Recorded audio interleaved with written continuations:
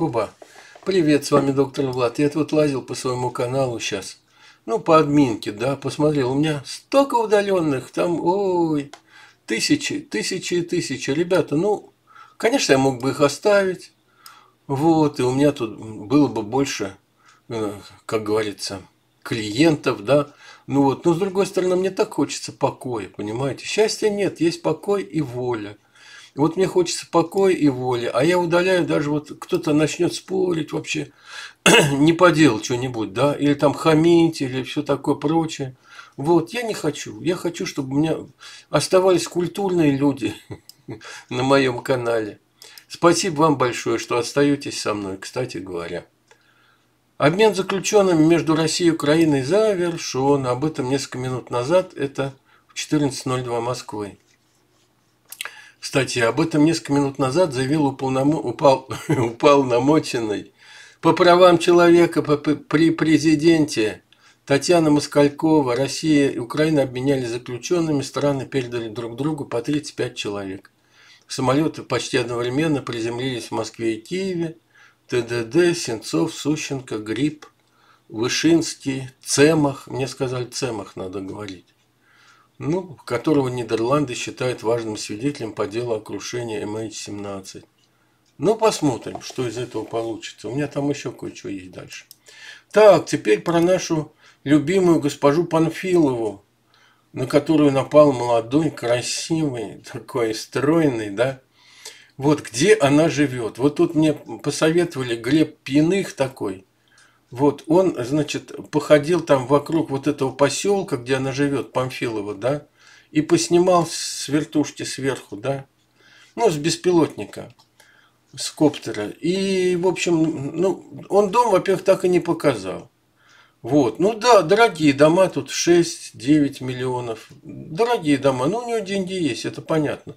Но он показал такой момент очень интересный. Там заборчик стоит на пригорочке, да, вот, он прям под этот заборчик так нырь, и все, и он уже с другой стороны. Так что пробраться туда вот как два пальца об асфальт, понимаете, да?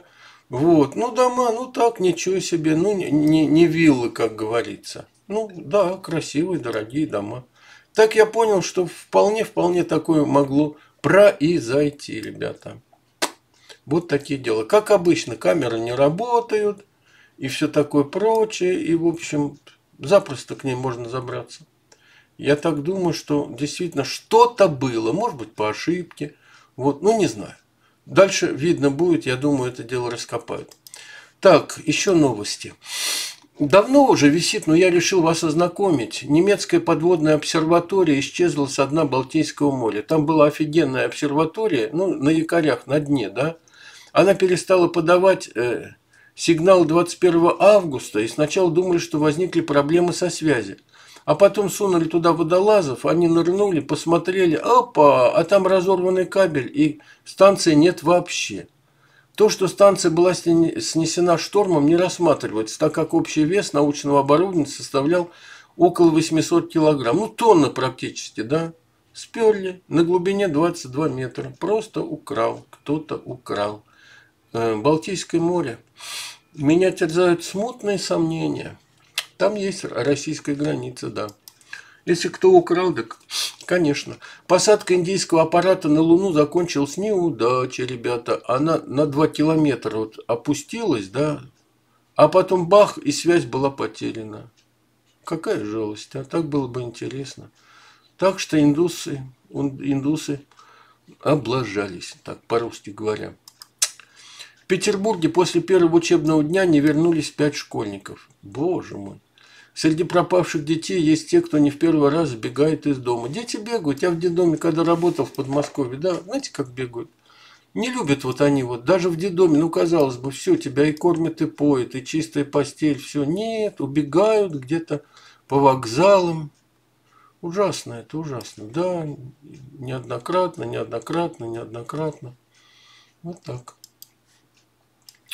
Подросток прыгал по машинам в Красном селе. Видео. Ну, видео, какая-то камера здесь, security стоит, да, уличная видеокамера. Прыгают подростки, трое бегут, парень, девушка, еще один парень. Парень прыгает по машинам, а эти бегут рядом, у них бутылка, Да, ребята, о времена, о нравы. Да? Нехорошо это.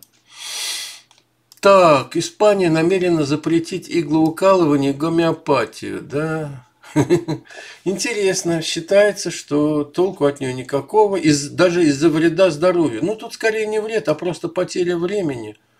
Ребята, вполне может быть. Но я-то уверен насчет иглотерапии. Я вообще ни грамма не сомневаюсь. Самый простой пример, ребята. Вот если у вас вдруг схватило сердце, да, вот берется мизинец левой руки, мизинец, и сжимается вот так вот. Вот. Крупно показываю. Вот. Вот так сжимается мизинец левой руки. Сильно. Медленно. Потом отпускается. Потом опять сжимается. Ребят, если у вас только не инфаркт, у вас боль в сердце проходит мгновенно. Вот вам даже не иглотерапия, а просто точки. Понимаете, здесь вот мощные точки.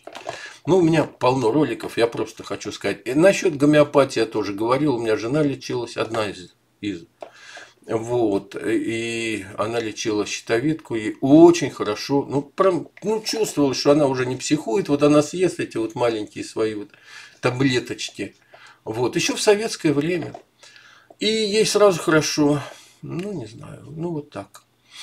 Угу. Так, смотрим дальше. Врач, что врач? Врач заявил, что не существует таблеток от ожирения. Это, ну, это здесь же, газета РУ просто, и тоже испанец, один из основателей Испанского общества хирургии ожирения и метаболических нарушений, Жуан Пужоль Рафолс. Ну, как красиво, да? Он сказал, что не существует таблеток или диет, которые вылечили бы ожирение.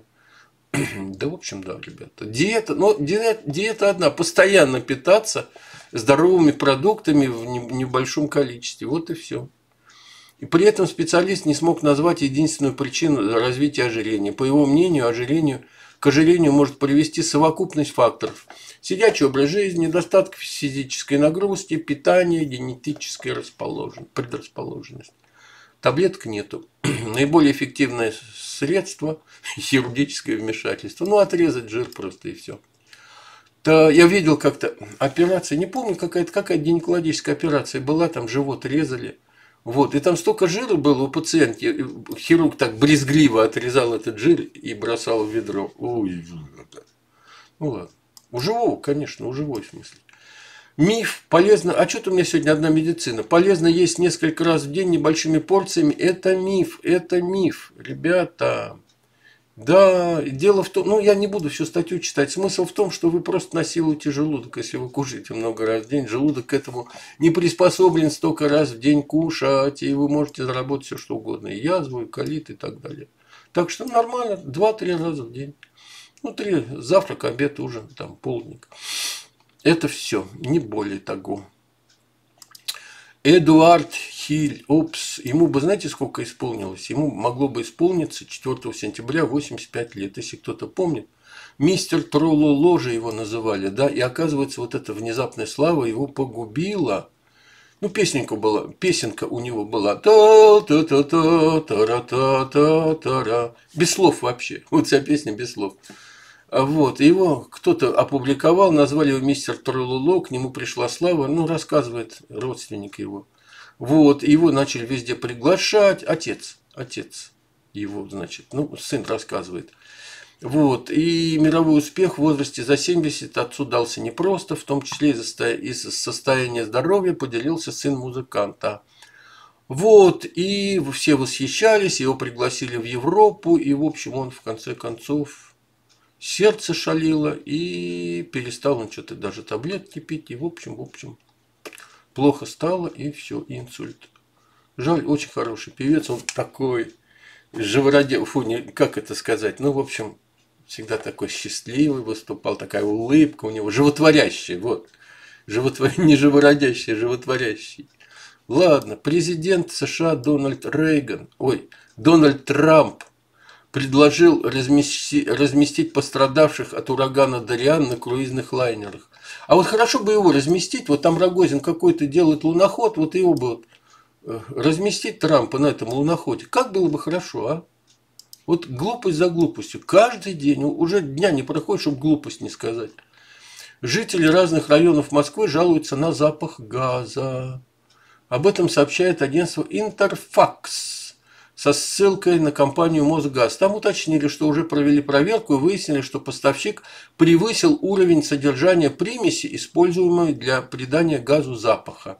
В Мосгазе также добавили, что число обращений уже снижается. Смысл в том, что газ сам по себе, природный газ, он ничем не пахнет. А чтобы, ну, если вдруг утечка, чтобы он был запах, да, вот добавляют туда примесь. Вот переборщили с этой примесью. Наверное, на халяву где-нибудь достали и сунули. Рогов. Обмен пленными, скорее всего, часть масштабного проекта по нормализации отношений России с западными странами. Ну, правильно, выгнали же из семерки России, да? Ну, из восьмерки, вернее, выгнали. И вот Путин сейчас пытается что-то такое, какие-то жесты делать. Мне кажется, вот Кирилл Рогов, политолог, говорит, мне кажется, за этим стоит некоторые ожидания и надежды на улучшение отношений с Европой для Кремля. Явно идут какие-то переговоры о более масштабной деэскалации в отношениях. Угу. Ладно, хорошо.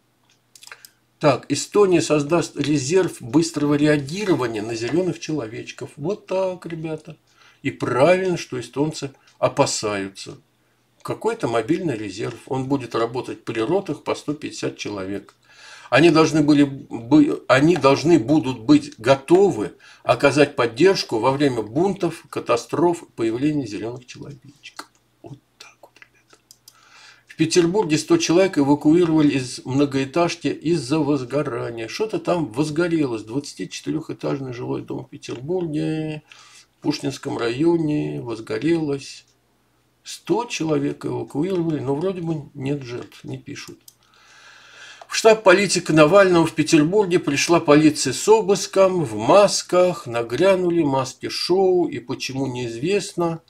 Прямой трансляции, которая ведется в твиттере штаба, сообщили, что силовики считают, что в организации готовили бюллетени для вброса. Ой-ё, заподозрили. И сразу маски-шоу, да? Нифига. В России увеличили премии для молодых ученых до 1 миллиона рублей. Ну, это известно, какие молодые ученые. Какой-нибудь молодой ученый, внук Ротенберга, да, ну вот всем, всем им надо же как-то их премировать. Вот, внуков, сыновей, дочерей.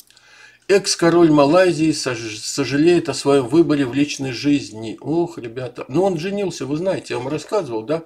Он женился на Э, Мисс Москва 2015, и, в общем, долго она с ним не прожила. И, причем он был даже вынужден отречься от престола из-за брака. В мае у них родился ребенок, но уже в июне в Малайзии появились сообщения об их разводе. Нифига себе, мужик все потерял, да? Не женитесь на москвичках. Поняли, да? Крымские врачи-дерматологи применяют новые методики в лечении псориаза. Такая статья, прям, ой, крымская газета, ой, ой, ой, спасение и так далее. Ребят, все это вранье, никогда не поверю. Пока в Америке даже нет. А чтобы в Крыму что-то изобрели, ну, это очередная утка. Крым, как же. Когда он стал... Тут вообще так интересно, вот она пишет, ну, вот это вот э, врач, да, который вот этим занимается – и вот она пишет, что когда Крым стал российским, у меня сразу появилось 100 человек пациентов вот с этой самой, а, с псориазом.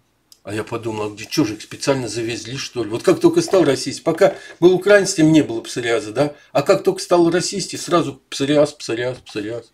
Какие-то вот не задумываются они, да, пишут. Бог знает что.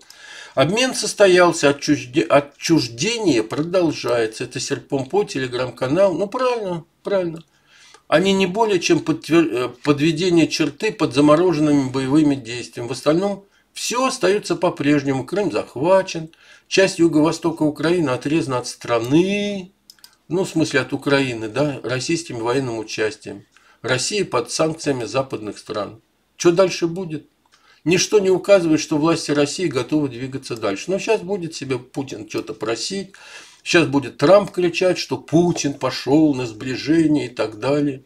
Ну, как обычно, два сапога пара. Так, и последнее, освобождение. Вот тоже интересно. Венедиктов, он в последнее время стал очень коротко в блогах, очень коротко. На самом деле, мои украинские подписчики, кто с вашей стороны повернул ключ к, э, к освобождению – это Лана Зеркаль, замминистра иностранных дел Украины, которая сначала выиграла у нас дела, ну, в смысле, у России дела в международных судах и трибуналах, а затем осуществляла неформальную коммуникацию новой команды президента Зеленского. И вот ее фотография. Такая симпатичная девчонка.